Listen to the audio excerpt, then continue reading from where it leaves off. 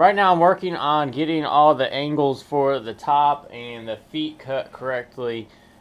For the top, all I'm going to do is pretty much square it off of the center so you can just uh, line your square up and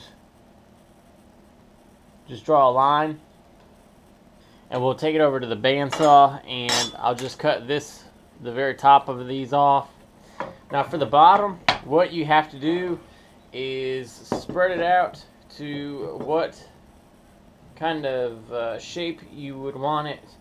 Whenever you're going to be doing your uh, painting or drawing. And I think that's a fairly good little angle right there. So what I'm going to be doing is taking this and sliding it right down. And I will try to get this even along the bottom and then you lock it in. I've already gotten it locked in on another leg. But then you can just move it up to the corner.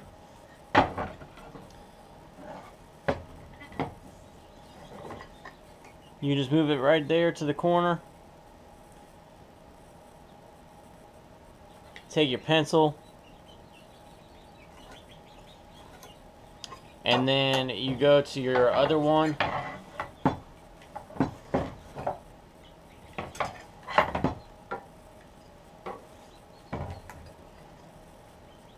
make sure you're going in the exact same direction.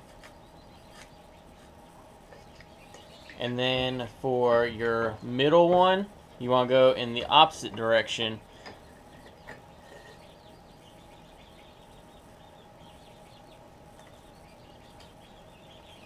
And then you can take these over to the bandsaw and cut these as well. Alright, we're back from the bandsaw now, and as you can see, the leg is flat right there on all the sides.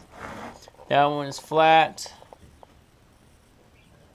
That's flat, and the back leg is flat. One thing I forgot to mention is that once you draw your line right there, your table saw table has to be set at the 10 degree angle that you cut the other things at. I've been working on the channel for the easel or the painting pieces to actually sit in. I used a 5 8 inch router bit to uh, just go in the groove and I made four different passes, two on each side and just went and lowered it a little bit each time that way I didn't tear too much out.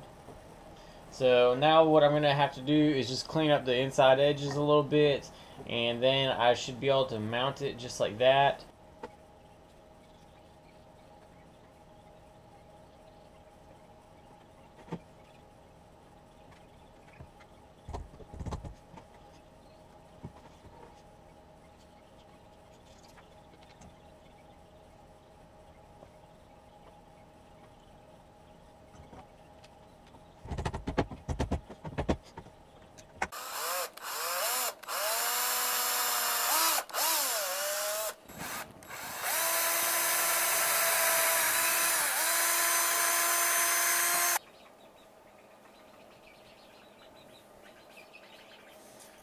To get the links apart, you can simply take a screwdriver and just pry it apart a little bit. The link will come apart. Then you can just take it around your hook and use a pair of pliers and squeeze it back together. And your chain's back together now. And just like that, we've completed another simple project for the house. This can be really nice for my wife to do her paintings on.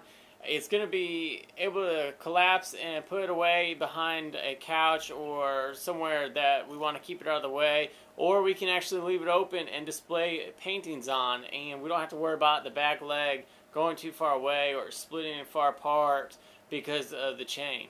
If you guys enjoyed the video, go ahead hit that thumbs up button and share it around on all the social network. If this is your first time visiting my YouTube channel, go ahead hit that subscribe button for the latest updates on woodworking, and blacksmithing stuff that I'm doing. So stay tuned and I'll see you guys in the next video.